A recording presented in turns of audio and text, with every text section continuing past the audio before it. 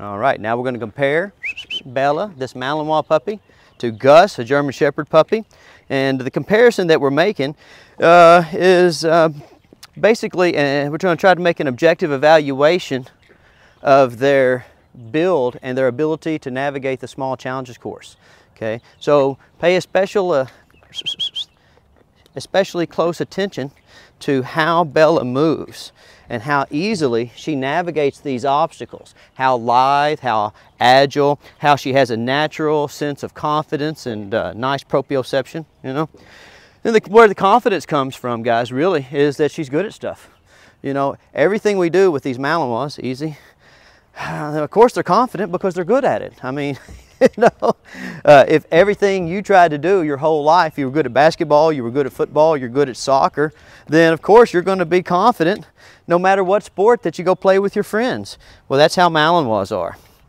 Now, German Shepherds started off, uh, they used to look just like Malinois, you know, and, and uh, somehow over the course of the years, they've morphed. And uh, so kind of what we see now is a big split in the athletic prowess of the Malinois and the German Shepherds. And that's not me throwing German Shepherds under the bus, you know, but just a lot of people ask me to compare the dogs and uh, today I have two here, so I thought this would be a good chance for me just to put them on video.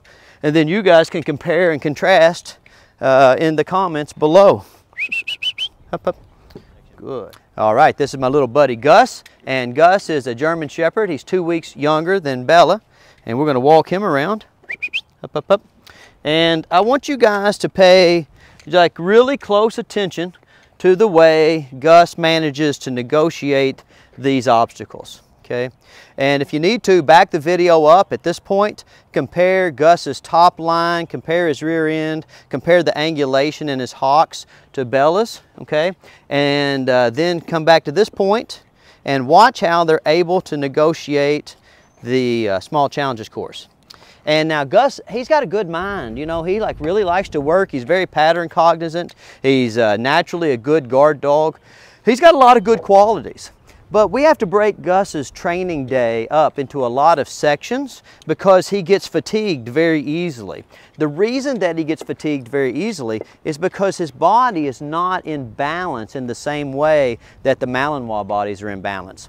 So one of the things that you always have to keep in mind when it comes to training is like, how is your dog built for the training exercises that you are engaging in?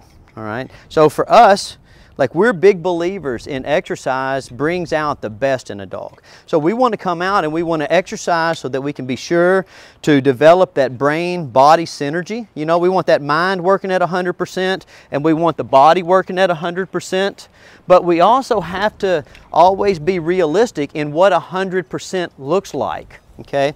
So what 100% looks like for Gus is not the same thing, come on, hop up, as what 100% looks like for Bella. And if you watch this video a couple of times, I think you'll, you know, kind of see the obvious reasons why.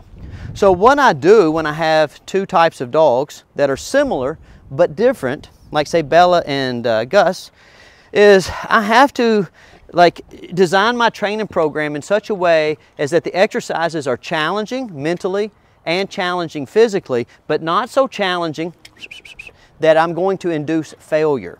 All right. So Gus and Bella learn in a very similar fashion. Uh, they're both very pattern cognizant. They're both pretty easy to to uh, uh, to motivate. Okay, in terms of like doing things that that are easy for them. Like they like petting and praise, they like food and attention, they both like to fetch a little bit.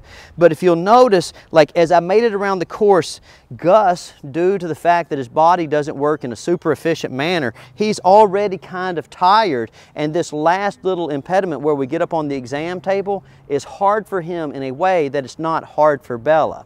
So mentally, He's giving the same or maybe more effort than Bella, but Bella looks like she's giving more effort because she does the exercises with more vigor. Okay, come on. So we'll try to get uh, we'll try to get Gus to put a little second effort there. And if he has a hard time, I'm just going to help him.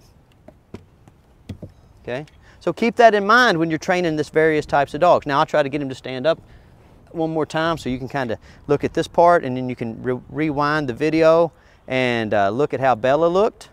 And I think when you look at the two different uh, dogs, you'll see what I'm talking about, about how they're built differently. And since they're built differently, the, the training exercises feel different to the dogs.